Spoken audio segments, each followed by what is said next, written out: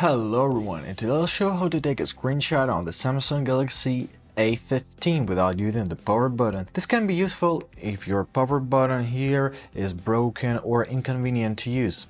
So first of all, let's open our settings. I'll go to your main menu, click here on settings. Now as we're in the settings, scroll down until, until you'll see your accessibility section. So let's scroll down Scroll down, here's your accessibility. Click on it.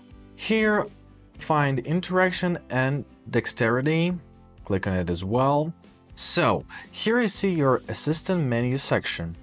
To turn it on, simply click on the switch, press allow, and now it's turned on. Now you have this floating menu on your screen.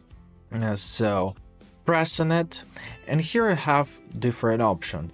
So to take a screenshot, uh, basically click screenshots.